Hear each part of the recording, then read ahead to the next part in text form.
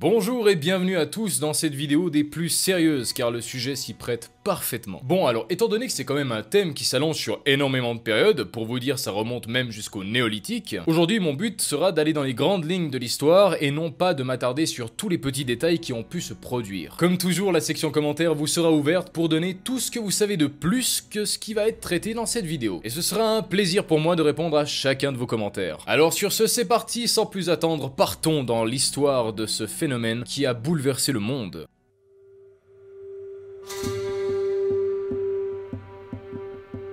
Commençons simplement par une définition. Qu'est-ce que l'esclavage? C'est un système juridique et social qui applique le droit de propriété sur des individus que l'on nomme esclaves. Les esclaves, quant à eux, sont en opposition directe avec ceux que l'on nomme libres et ils ont comme propriétaire une personne que l'on appelle maître. Bien évidemment, par le biais de coutumes et de lois, l'esclave peut cesser d'être esclave et deviendra alors un affranchi. Ces individus vont se rapprocher de tous ceux qui sont libres sans pour autant l'être. Cependant, il nous faut distinguer l'esclave du cerf ou du forçat, par exemple, étant donné que l'esclave n'a aucune personnalité juridique propre. En d'autres termes, si tu étais esclave, tu avais moins de valeur qu'un animal juridiquement parlant.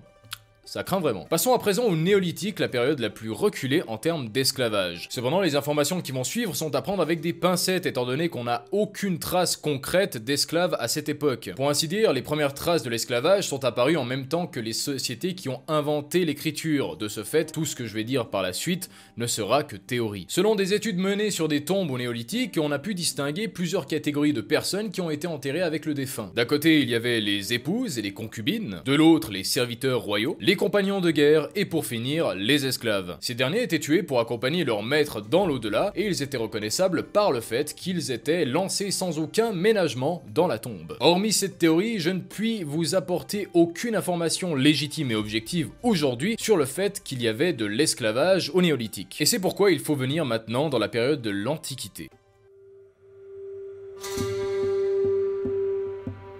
Alors que l'existence de l'esclavage était pour le moins incertaine euh, à l'époque de la préhistoire, elle fut alors complètement confirmée avec l'apparition des grandes sociétés et donc de l'écriture. Aristote ira jusqu'à faire une distinction entre les hommes en disant que la nature créera deux catégories d'êtres humains. D'un côté, les hommes qui ont l'intelligence et destinés à commander, et d'une autre part, des individus dont la force corporelle est vouée à l'obéissance. De ce fait, en corollaire, le commandant et le commandé vont dans la même direction et aspirent au même but. Il faut aussi noter qu'à l'époque de l'Antiquité, l'esclave était souvent de la même race que son maître, mais aussi bien plus intelligent. Prenons simplement l'exemple d'Ésope, un esclave grec du 6e siècle avant Jésus-Christ, dont on reconnaît la paternité de la fable. Ou encore celui de Terence, un poète célèbre latin qui a vécu entre moins 184 et moins 159 avant Jésus-Christ. Nous voyons alors que la majorité des esclaves étaient bien souvent plus intelligents que leur maître, mais nous verrons par la suite aussi que certains d'entre eux peuvent devenir même des souverains.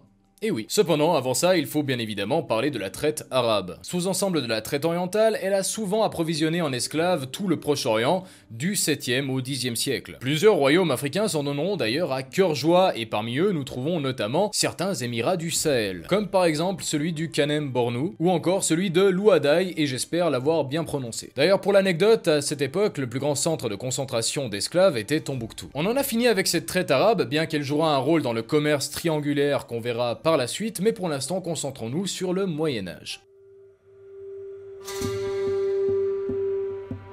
Le terme esclave serait apparu autour du Haut Moyen Âge à Venise en 476. Les esclavons, comme on les appelait alors à l'époque, étaient souvent soit des Slaves, soit des Balkans. Dès lors, pour parler d'un esclavon, on utilisera souvent le terme de servilité, lui-même venant du latin servus, qui était à l'époque le terme utilisé pour définir cette classe de personnes. Par la suite, d'autres termes apparaîtront, comme par exemple celui de serf ou celui de serviteur. Cependant, l'influence grandissante du christianisme va engendrer une sorte de diminution de l'esclavage. Simplement parce que l'Église considérera le maître et l'esclave comme étant totalement égaux face à Dieu. L'esclave va alors voir ses privilèges grandir comme celui de fonder une famille, de se marier et même par la suite de devenir moine. D'ailleurs, c'est dans ce dernier cas que l'esclave va être le plus soutenu par l'Église s'il doit faire face à son maître. C'est ainsi que l'on voit apparaître la naissance du servage. On pourra alors voir certains esclaves canonisés et devenir des souverains, comme par exemple la reine Bathilde des Francs, qui se prendra un malin plaisir à interdire l'esclavage sur ses terres. Bon, on en a terminé avec les grandes lignes du Moyen Âge, mais maintenant passons à la Renaissance, qui est un petit peu la période décisive pour l'esclavage.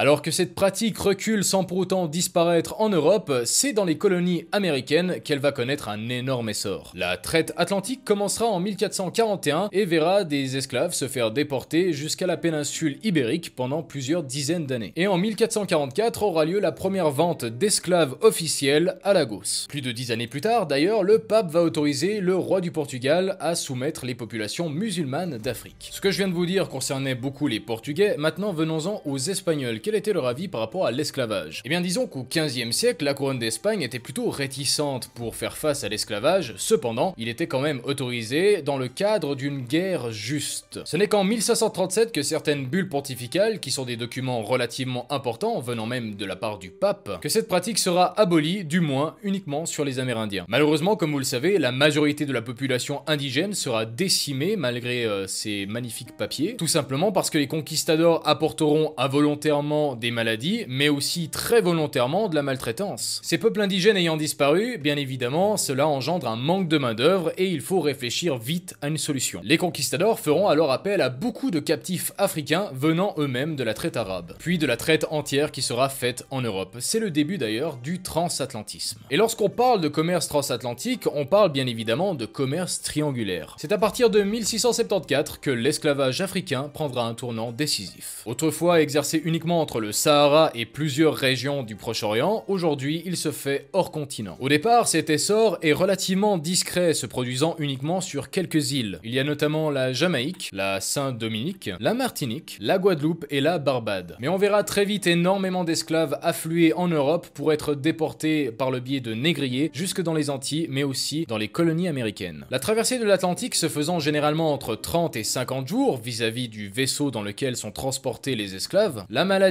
et la mort sont malheureusement monnaie courante. Au XVIIIe siècle, le commerce triangulaire va alors prendre un essor phénoménal, cependant il va peu à peu commencer à diminuer et à se faire abolir. On verra notamment en 1804 l'ancienne colonie euh, Sainte-Dominique devenir la République d'Haïti et donc abolir cette pratique. L'esclavage se fera de moins en moins pour disparaître à peu près en 1810 au Chili. En 1813 ce sera le tour de l'Argentine. En 1821 celui de la Colombie et en 1829 ce sera le tour du Mexique. Bien d'autres suivront et l'interdiront mais c'est en 1980 que le beau dernier de la liste pointera le bout de son nez. Je parle bien sûr de la Mauritanie et qui suivra le reste du monde pour interdire l'esclavage. En a quand même compris énormément de temps pour comprendre que, au final, l'esclavage c'était pas vraiment une bonne idée. Hein. Mais finalement aujourd'hui, l'esclavage c'est terminé pas vraiment en fait. Malheureusement c'est encore une pratique qui existe aujourd'hui, hein. on la retrouve notamment dans des lieux comme par exemple la péninsule arabique ou le sous-continent indien. L'Organisation internationale du travail va même jusqu'à estimer qu'il y a plus de 25 millions de personnes qui souffrent de ça, et selon l'ONU, plus de 2 millions de personnes deviennent chaque année des esclaves. Et là je vous parle de l'esclavage en général, mais par contre lorsqu'on parle de l'esclavage des femmes et des enfants, alors là c'est une autre catégorie encore. Dans les années 2000, on considérait que plus de 200 000 femmes et enfants étaient retenus en tant qu'esclaves